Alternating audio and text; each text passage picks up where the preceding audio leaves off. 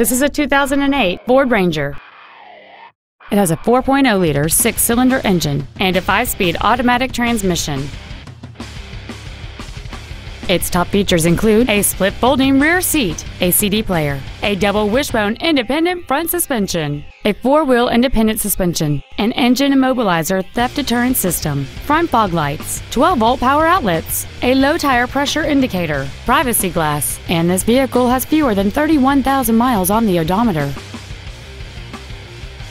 Contact us today and schedule your opportunity to see this vehicle in person. Wade Ford is dedicated to doing everything possible to ensure that the experience you have selecting your next vehicle is as pleasant as possible. We are located at 3860 South Cobb Drive in Smyrna.